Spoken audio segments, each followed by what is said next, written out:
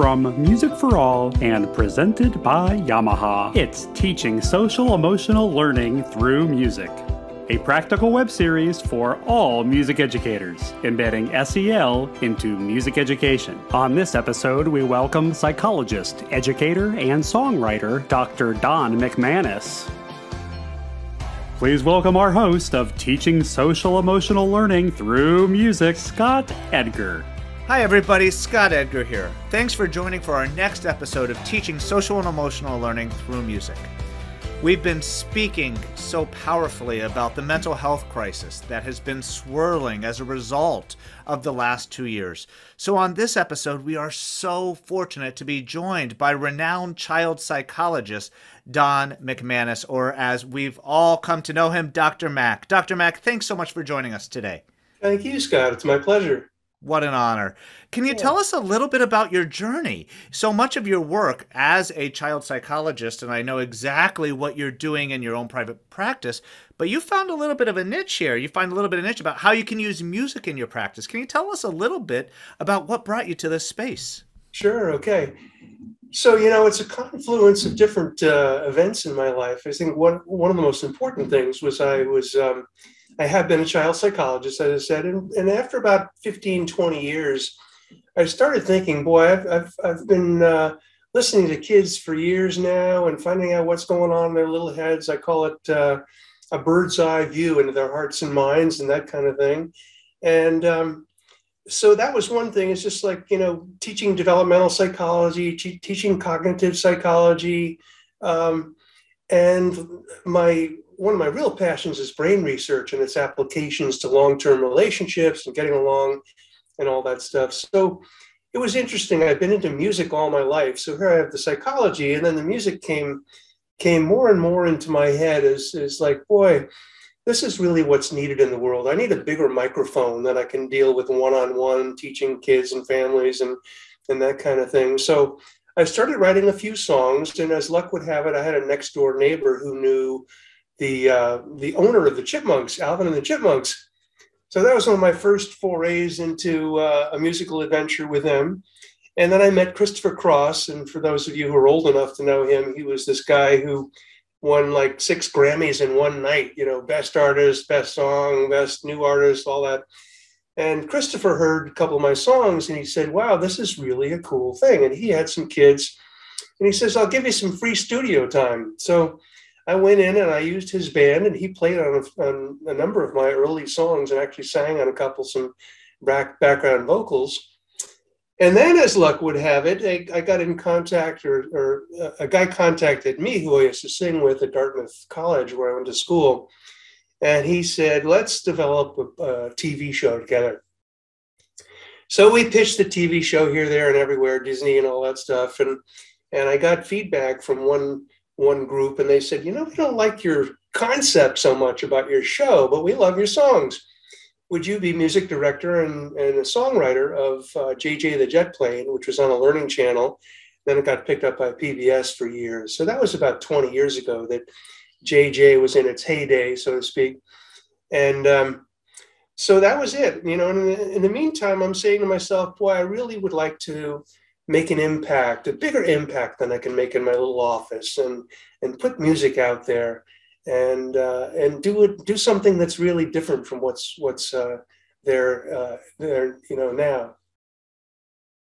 And you you've done that so brilliantly. You know, I think so many of the people watching and listening now are saying, that that was him and, and, while that was him and while that was him there, there are so many things that have just pervaded popular culture and now the thing that i was just so excited when our paths crossed was happy kid songs can you tell us a little bit about happy kid songs yeah well this this became my my passion and what what happened to me is i would start to hear music in my head you know almost in the, in the middle of the night taking a shower you know, walks in the woods, that kind of thing. And I started to hear songs, and and they weren't completely formed any any more than uh, you know the Beatles or anybody. It's interesting to watch the songwriting process of different masters at this.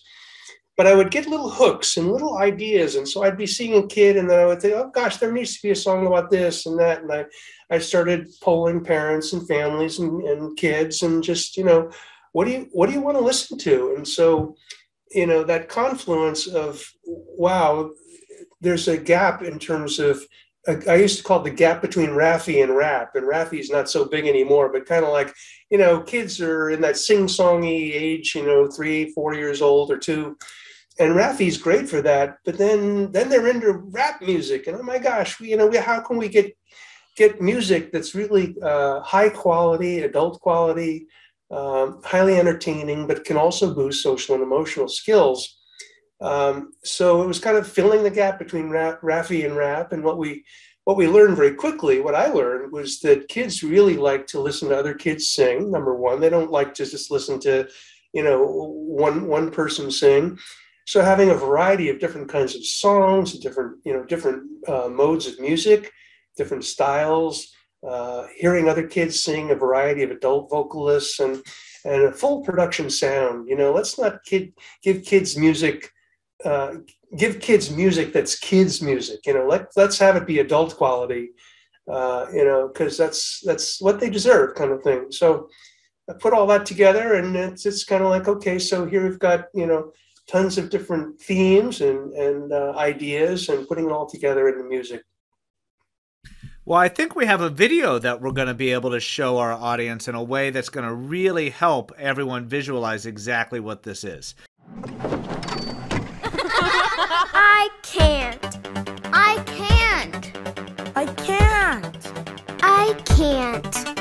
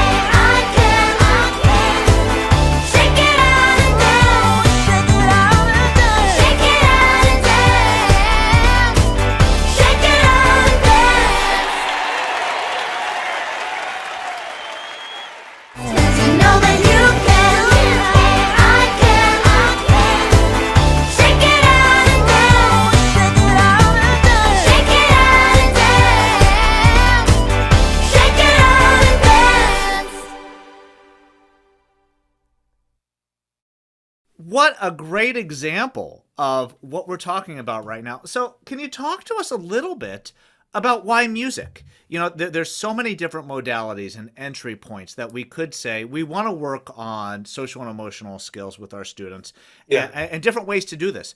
Why was music the answer for you?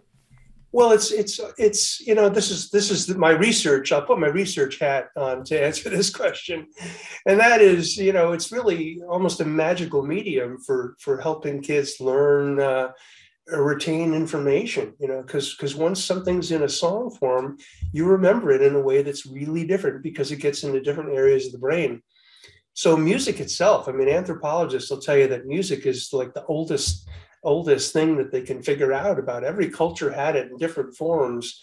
And it isn't necessary for human survival but something inside us uh, craves it. Uh, music releases endorphins you can feel happy and energized it, it lights up areas of the brain that are same as sex and drugs believe it or not or food and sex you know? It also activates the different centers of the brain uh, in language and hearing and rhythmic motor control and some researchers are saying, well, gosh, there's like 12 areas of the brain that get get uh, that light up when when music is being played. Uh, so it really helps change people's emotions. We know that when people are playing music together, there's a way that their brains sort of sync up.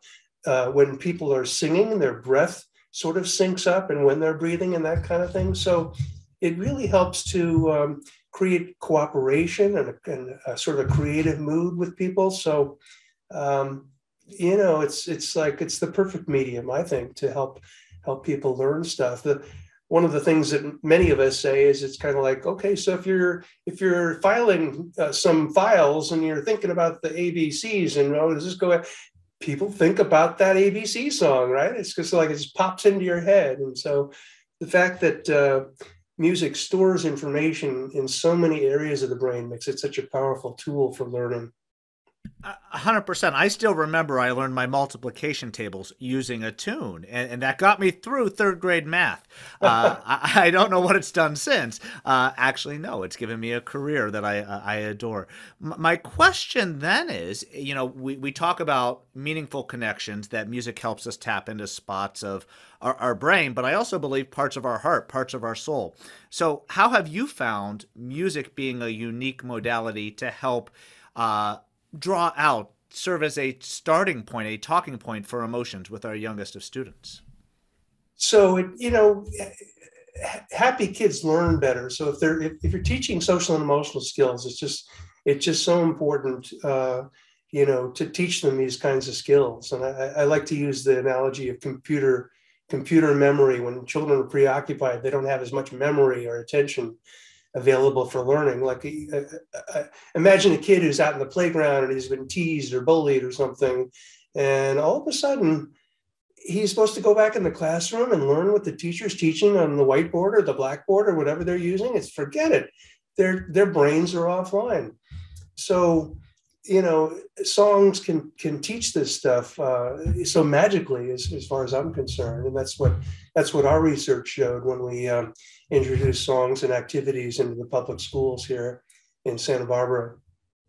Uh, stunning. Um, uh, another study that's coming to my mind is uh, some work about the power of music during the pandemic for adults. Uh, that it has been just a powerful use uh, for us to be able to work through what people are calling the COVID blues. Uh, yeah. we've, we've seen so many things come out just in the last month about a mental health crisis for youth. It came out from exactly. the Surgeon General of the United States. Can you talk to us a little bit um, about what you're seeing with youth with regards to how uh, our youngest folks are responding to a lot of the challenges they've had over the last two years? Yeah, yeah, for sure. Um, well, what we're seeing nationwide and also in my own practice is about, about the same thing is this way, way more uh, kids with, with challenges, with anxiety, um, lack of socialization. They're afraid to go to school. What's interesting about anxiety is it can it can generalize very easily. I can be upset about one thing, but not necessarily be aware that I'm upset about that thing, like COVID, right? And then it comes out in a different way. I just got a call this morning from a mom whose six and nine year old kids are you know, at each other's throats, you know, and and so what are you going to do about that? Well, I can teach them skills and tools and the stuff that we've developed about how to talk things out. But oh my gosh, why not give them a song that sort of grounds that concept at the same time as teaching teaching what I'm I'm trying to teach? But back to your question. Um, years ago, I would say 10, 15 years ago, my practice was more filled with kids who were somewhat out of control, parents not giving the kids enough caring limits. You know, it's kind of like, well I, well, I was treated too strict, so I'm going to compensate and not give my kids enough limits. And so that's a big mistake. What we figured out when my wife and I uh, did a lot of research on families and healthy families and that kind of thing. Uh, so it used to be that kids with behavioral challenges was more, you know, what I would get because I get a ton of referrals from local pediatricians. And now it's come to anxiety. Oh my gosh, it's probably a two to one ratio of kids with anxiety, separation anxiety, uh, getting dropped off at school. Um, you know, part of that is when we wear masks, we're not capable or as capable of reading facial expressions that give us information about how people are responding to what it is that we're saying or doing. And so these feedback loops that that have been part of uh, how we've been socialized for years and years are absent. So anyway, that's that's uh, that's what I would say about that. Absolutely, Dr. Mac. You know, I, I, think there's so many things that are just swirling in the vernacular right now for, for our teachers, for our parents. Can you give us a working definition of anxiety? Because I think we hear so many people just say anxiety is at an all time high. Well, what does that mean? And how you know, you've given us some tangible examples, but I think just having something in our head that a unifying space to talk about this would really help giving us some language. Sure. Well, generalized anxiety, uh, which is which is probably the most common sort of form of anxiety with, with kids, especially, is is something where there's a feeling inside. It's almost like we, we've got this part of our brain called the amygdala, and the amygdala is like a fear center, and it's also like an alarm bell. And that alarm bell, if there's stress in the family or in the culture or in school, or if you've been bullied or whatever it is, then what happens is this amygdala lights up. And it and it almost starts to search the world for danger. It's kind of like it's kind of like oh my gosh what what can happen next? And you're sort of hyper vigilant and you're looking. So that's what's going on. And sometimes that will crystallize or get formed into a specific anxiety about you know spiders or about going to school or about whatever so it's fascinating but the the research on families shows that we are part of a system we are part of a collective. And so anxiety is something that gets flashed around. We have mirror neurons in our brain. And so what happens is that little kids, especially if they're highly sensitive, will pick up other people's stress. And they will be manifesting the symptoms of the fact that mom is drinking too much or dad is stressed out or whatever. So anxiety is something that that can form in a child or happen with a kid uh, but it can really be just a manifestation or a symptom of what's going on in the bigger picture. And, and this is just setting off a lot of connections for me about the discussion in education circles around trauma informed practices. How can we as teachers be aware of trauma in many different manifestations at home and be uh, empathetic in making sure that we are not unintentionally triggering students. Can you talk a little bit about that intersection between anxiety and trauma? Well, anxiety is a is basically a symptom of trauma. So when we've had a trauma, that's what happens is the amygdala will light up and then you've got to shut it off. And how do you shut it off? Well, there's lots of ways. There's ways in terms of how it is that people handle their feelings and how they're able to express feelings. We know that the amygdala settles down when we feel understood. One of the songs that I have is called Talk It Out. And basically, it's a template for hey, it's a cool thing to be able to sit down with somebody and talk out your feelings. So, one of the forms of expression that really helps that amygdala settle down, the amygdala actually settles down when we feel understood. That's what the brain research shows. And that's just a fascinating thing. If, if you or I are upset with somebody and we're able to in, express ourselves in constructive ways and feel understood by that person, guess what? We feel better about ourselves. We feel better about the other person. We feel better about the relationship. So, that whole idea that uh, feelings want to come out is yeah, we can do that in the inter- interpersonal way about how we talk stuff out. There's also ways that we can express our big feelings on our own, primarily through exercise and some other sort of tricks and tools that we've we've developed. So that's one form of what fuels anxiety. The other one is our thoughts. And that's what the, you know, when you guys saw that, when we saw the Shake It Out uh, and Dance uh, video, that's what that's about. And that is that we are sometimes fueling our anxiety with our negative thinking patterns. And if that's the case, well, then there's tools for how it is that we can create more positive thinking and how we can think ourselves into, into feeling better about situations. So some kids have the feelings part as a con- contribution to anxiety. Some have the whole thing about their negative thinking patterns. And most people have both. So it's kind of like we want to attend all these different facets of what can can fuel or maintain anxiety over a long time. And, and I appreciate you going into that next direction because I know many parents and teachers are concerned about the long term ramifications of the last two years. Oh, um, yeah. What are your thoughts about what journey we are on from a mental, social, and emotional path moving forward with understanding what we've been through? I'm not sure what you mean, what journey we're on. Uh, we are headed into a, a, space where I think there's been question about missed milestones, developmental loss. oh yeah, out of space. So so I, will use the word recovery, but as we're starting to move through the physical crisis and we're getting back to experiences of in-person learning for our teachers, what's going to be the residue of the last two years, and, and what is the concern from a perspective of a child psychologist about what this is going to look like moving forward? That's a great question, and and and I don't I don't know the answer to that. I could I could make some guesses, and that is that kids will be under socialized. They'll be they'll be behind be behind cognitively.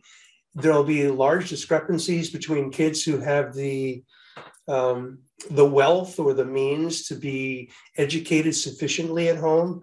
I've got one family that I'm treating right now, and they happen to be fairly wealthy, and they're homeschooling the kids through this whole you know pandemic and boy those kids are probably going to you know do fairly well compared to other kids peers across the country who don't have the the luxury of having somebody there teaching them all the time when they have to be you know the the the zooming really really needs to be supplemented by other by other forms of education and experience with kids um, the social thing is, oh my gosh, there's there's kids for, who for two years haven't had the ability to play with other kids. And what we know, there's an interesting, uh, Uh, some interesting research about what happens. What is what's one of the highest predictors of mental health at age 16? And I'll tell you what it is. It's having connections in third grade with other kids. And that's a higher predictor of mental health at age 16 than any psychological test that we have. Just feeling like there are other kids who care about you and you're connected to them. It's not about being the most popular kid in the class, it's about being and feeling like other kids are there for you. They've got your back. And, and kids like to go to school, quite honestly, not because they want to learn or because they want to see their teachers. The most important reason why they want to go to school is to hang out with their friends right? And it's not just kids with problems that say, you know, what's your favorite part of school? Well, I like this, that, and the other thing, but I like recess, you know? And that's where it's kind of like the wild, the wilds come out and the kids have the ability to just kind of run around and scream and, and play with each other. And the fact that that's not happening, I'm sure, is having long term effects on kids' social development, their cognitive development, um, and and we don't know what you know this is like a huge social experiment that we haven't been through so there's there's research that's starting to come out but we don't really know the answers yet about that and, and, I appreciate the honesty there. It's you know we're all on this journey together. We're finding our way through the woods, and uh, we're in this together. The the two most powerful words that you've said in your last two brilliant responses were connection and understanding. You know when a when a child is understood they're able to flourish. And to me, uh, just starting to draw some explicit connections to SEL language, to me, that's agency. When the teacher's able to say, I understand you, how do you work in this environment? That agency right. is just such a critical space. And this connection, this sense of belonging and relationships together.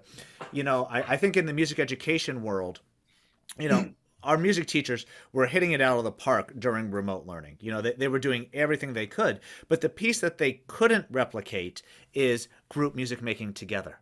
Oh, and yeah. that's that's the joy that we're seeing right now, Dr. Mac, in the profession is that our, our teachers are bringing people back together in community. Yes, in masks, and yes, with everything else to keep us physically safe. Yeah. But it is just one of those things that you can't replicate through a computer. Yeah, yeah. Well, Zoom is two dimensional instead of three dimensional, and then you're you're missing that most important thing, which is how when we are close to each other, and this is the research on mirror neurons. There are ways that our emotions are feeding and fueling other people's brains, and that's a fascinating concept. But it can't happen through Zoom.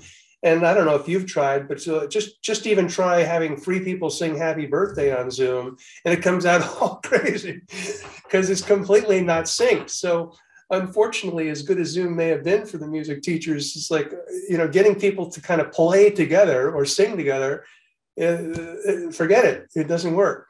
This audience is saying, "Preach, yes, one hundred percent." Right. Uh, the- And I don't know about you, but in my family, even if we're in person, we're not singing it together. So, uh, so we have a journey there too, whether we're in person or over Zoom. So, Yeah, yeah. Doctor Doctor Mac, you know, w- when you're talking about your practice or you're working with this family or the work that you're doing that has just such a wide reach, in my mind, I'm hearing engagement in the music classroom. I'm hearing a lot of these techniques and a lot of these things that our music teachers can do.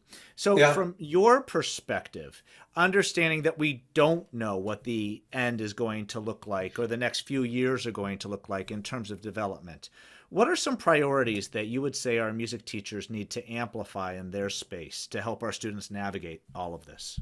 Yeah, yeah. Well, one of the things I, I, hadn't mentioned, but you know, one of the things that I've been involved with in the last few years is, you know, after writing about 50 songs and putting them up there on online, is um, I was inspired to write a musical. And it's called Elementary School Musical. And it's really tailor-made for sixth grade performances or you know, even eighth grade performances for kids and that kind of thing. Um, and it's fabulous because it's it's got you know it's threaded with with these various songs that I've written. It's it's a combination of music as, and messages and performance all rolled in one because that's what theater does. Um, so one of the things is that that teachers or, or music teachers could use either the whole play because it's about an hour long and can be supplemented. There are tracks, and, and I have uh, some of my favorite Santa Barbara superstars singing the songs now but I've got the tracks that are separate from that, and that can be played and then it can be you know sung to karaoke like. So one of the suggestions I, I might make is for people to look into that elementarySchoolMusical.com, or it's actually elementarymusical.com, um, and to use either parts of the play or the whole play, and you can play along. You can add piano or drum or guitar or you know trumpets or whatever, and and sort of you know use that as a as a vehicle for you know both entertainment which is the number one thing but then you add on to that what can people learning what can kids learn along the way that can be really helpful and important to them um, there's a song called talk it out and that song is specifically about you know the what we call the repair kit which is the same as um, you know, there's other forms of this kind of thing where kids can sit down and talk their feelings out rather than than uh, act them out or withdraw from each other or I'm not going to play with you anymore or I don't like you and it's just like well how do they deal with feelings and be able to sit down and talk them out.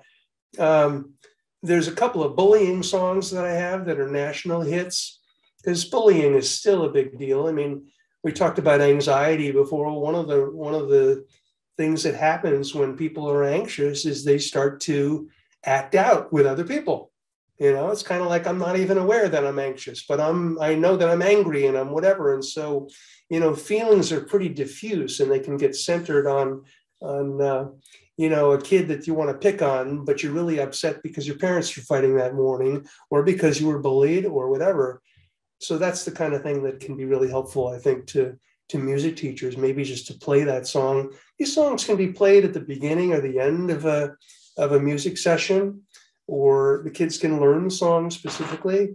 Um, I would say that the other thing is, is any of the CBT songs I call it CBT. It's called cognitive behavior therapy, and that goes back to what I was saying before about what's what what are the thoughts in our head that will give us problems? What are the things that we're saying to ourselves in a negative nature that's problematic? And uh, we call that cognitive behavioral therapy. And what I've done is is I've written a few songs about that same topic for different kids at different age ranges, sort of in the four to nine or three to nine age range. Um, and these songs basically give, they provide the template for how it is that kids can learn about, you know, I have socks, but I am not my socks. I have a football in my hand, but I'm not my football. I have my clothes, but I am not, I am not my thoughts, and I can become the boss of my thoughts. And that is so empowering to kids. And it's the kind of thing that I say, I mean, I'm going to tell you a little secret. And I say this to moms and dads. So I say, like, most people on the planet do not know that they can become the boss of their thoughts. That if a thought pops in their head, it's not necessarily significant. It can be a helpful fear, as an example. It could be a fear of if I'm crossing the street, well, I should darn well look, you know, look both ways. That's a helpful fear but a fear of spiders when I hardly ever see them, or a fear of, you know, social interactions when I actually get to school and I'm playing fine and I'm everything's fine as I'm in school. But why am I yelling and screaming for 15 minutes, you know, as I'm trying to get out of the car or dragged out of the car to go into school? So teaching kids these tools, teaching adults these tools, I find that you know I've got this secret agenda was is is that I'm not just wanting to teach kids about this stuff. I want to make the music as entertaining as possible and as full production as possible so that teachers and parents enjoy it too. And I hear all this feedback at times from people emailing me and saying, "Yeah, I, I dropped the kids off at school and I'm still listening to your, your music and singing at the top of my voice on the way home," kind of thing. So that's the kind of stuff that kind of floats my boat and makes me feel like I'm, I'm at least marginally successful so far at helping the world uh, change and, and for people to learn these tools that I know, but are, uh, haven't been really shared that well, I think, in, in the broader picture of things. Well, I, I know that everyone watching and listening is like, okay, so this is coming into my classroom because it, it sounds really powerful. Now, one thing that popped into my head is you know I am a music educator. I am not a psychologist, I'm not a psychiatrist, I'm not a therapist, I'm not a counselor. I think there's a concern when we start to have words such as CBT, cognitive behavior therapy and what that looks like. What is that line from what your perspective is for how teachers can engage in some of these discussions and some of these entry points that your music affords without crossing into that therapeutic relationship? Wow, that's a good question, and, and I'm probably not the best person to answer that because, um, you know, with with teachers, that what what I've found over the years is that teachers in general, this is what they're dealing with. They're not dealing with academic challenges so much as social and emotional challenges. So, you know, I, I, I think it's really up to the parent or the teacher to decide what do I feel comfortable with? And one of my uh, one of my favorite things to say to folks, whether they're teachers or parents, that I, you know, I, I, I do a lot of school consultation still, is try not to be so much of a teacher, but a teaching. Be what it is that you want the kids to learn, and they're going to model model it after you. They're going to steal it from you. You you become a happy person with certain ideas, and they're going to want to steal that from you. You know, you don't have to teach it. You don't have to ram stuff or information down people's throats. That's that's certainly not the way to go. So one is simply to be a model for all this stuff, and then the second one is to approach it gradually. In other words, you know, you can play a song and and and uh, play it a bunch of times, and kids might hear it, and they start to get interested. And so, what is that? You know, what is this about? You know, and what what's the song about? And so you're not pushing it you're simply just exposing kids to it and seeing how they respond and then take it from there because because every person's different but what i find um, in my teacher training classes is that it's it's so important for us to focus on what it is where are we at with our own social and emotional learning and be a model for that and i think the research on on sel says the same thing, which is you just can't go and teach teachers how to teach this stuff, whether they're music teachers or academic, whatever, it doesn't matter. Um, it's, it's, it's so important for them to, to be a teaching such a, a powerful statement with modeling and a, a really good uh, segue into my next question. I know that children are your primary audience, but we are seeing so many teachers right now having to climb that mountain or are just burned out from everything that's swirling on in their lives.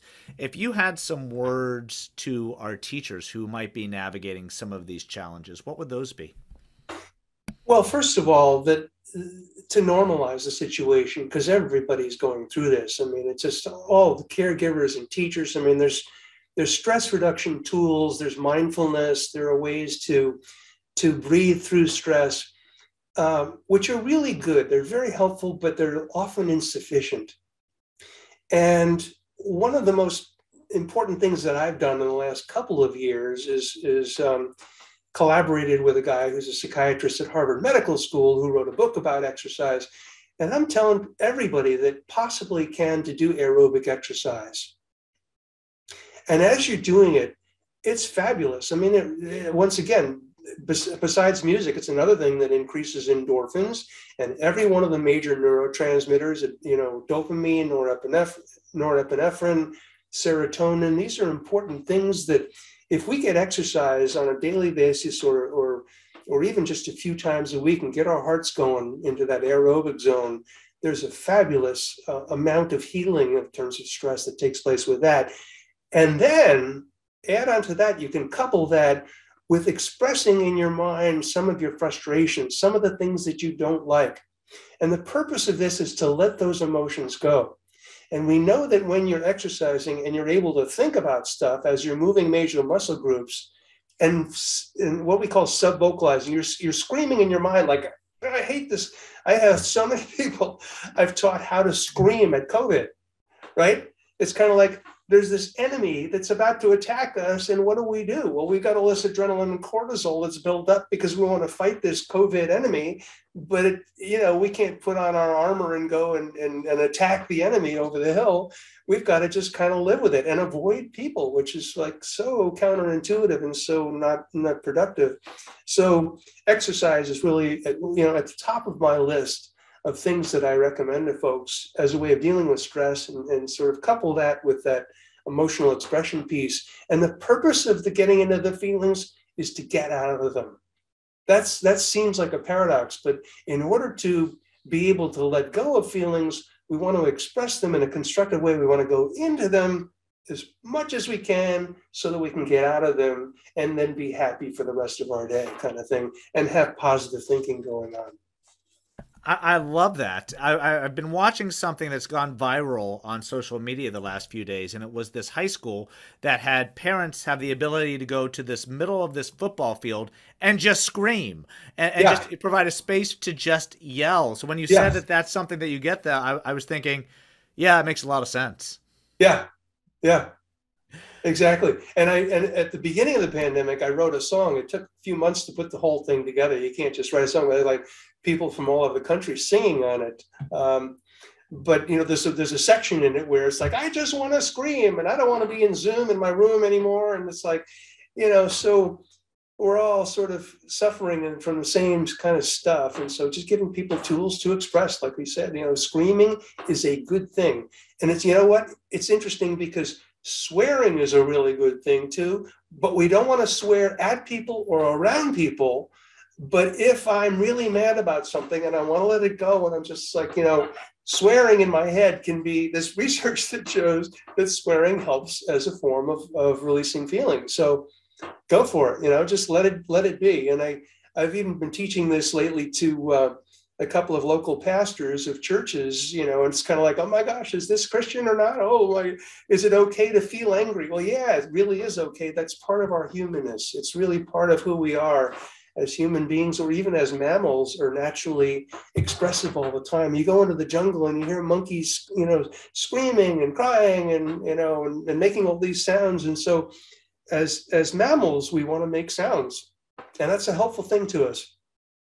You know and, and, every emotion to me makes sense you know I, I think when we get in trouble is we say oh that that's a bad emotion to feel or we shouldn't feel that emotion yeah. that that shuts off that part of our humanity and doesn't allow us to work through it so 100% yeah so I have one more question for you, and this is going to get a little bit more personal. Thinking back to maybe one of the first few songs that you ever wrote, your songwriting journey. What has it meant to you to be able to create something musically, and how does that relate to your identity and your growth? Because I know so many of our teachers are starting to engage our students in songwriting, and it's just yeah. a big thing yeah. in music education. So, what has songwriting meant to you personally? Well, a, a, side note to all of what it, what I've heard about my the psychology part of me and the music part of me is my spiritual part, and that is that I don't feel like I'm necessarily writing these songs, and that sounds weird, but the creative spark that starts out is something that's very spiritual to me. It's very important to me. It's kind of like I've got this gift inside of me, and I want to I want to give it away, and that's how I've been guided in terms of my own spiritual path um, I wrote a song called The Gift of Giving, and I, I, had the thing completely sung by myself. And then I had this woman, Lois Mahalia, who's an African American woman here in Santa Barbara, who's a superstar who sings with Mike, you know, Joe Walsh and Michael McDonald and all these Kenny Loggins and all that stuff. And she started to sing the background vocals to this song.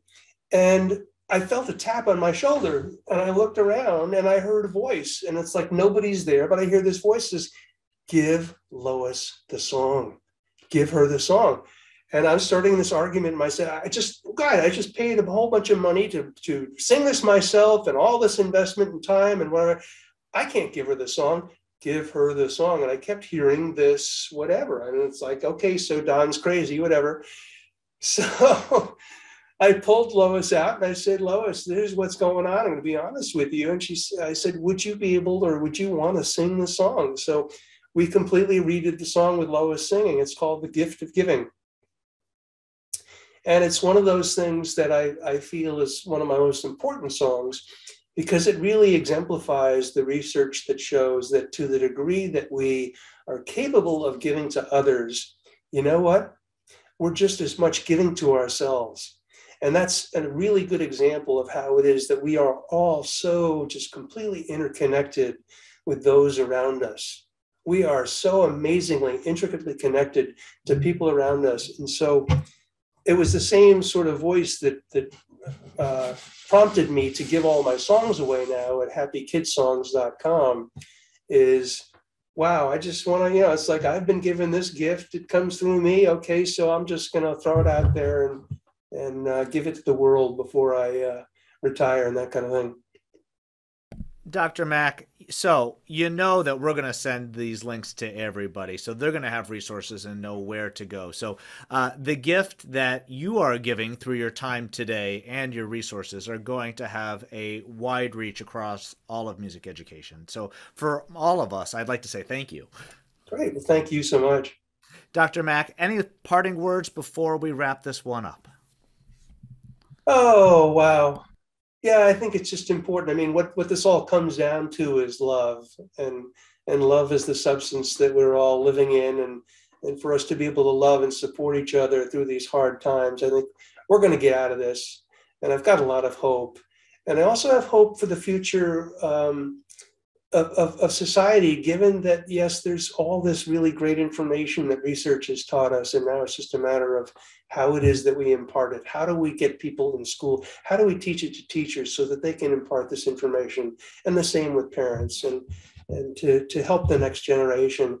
And I feel hopeful about the next generation of kids coming up. I think they're just pretty extraordinary kinds of human beings that are going to help help uh, in a number of ways, save the planet and, and uh, improve the world in, in, ways that are more uh, more loving and kind.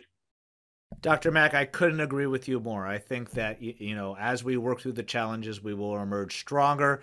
And for me, whenever I go into a school or talk to a group of students, I agree the future is bright. Yeah, yeah, great. From, from the bottom of my heart, Dr. Mac, on behalf of Music for All and all of the music teachers who are watching from across this country, thank you so much for the gift of your time today. Thank you. My pleasure. Yep. Bye bye. Music for All's mission is to create, provide, and expand positively life changing experiences through Music for All. Our vision is to be a catalyst to ensure that every child across America has access and opportunity to participate in active music making in their scholastic environment. I want to thank Dr. Mac for giving us the perspective of a child psychologist, but with the wisdom of music to help us navigate some of the challenges that we're all facing and the wisdom that he gave us as adults who are struggling with these same challenges. I'd like to thank our national presenting sponsor, the Yamaha Corporation of America. Be sure to check out the Yamaha Educator Suite at yamahaeducatorsuite.com and I would also like to thank GIA Publications for their continued support. Before we say goodbye, we are extremely grateful for any donations gifted to our nonprofit organization. If you enjoyed this program, and in order for us to continue to provide our free educational resources and advocacy materials, please consider gifting to Music for All at any amount. Please visit musicforall.org. For Music for All, I'm Scott Edgar. Thank you.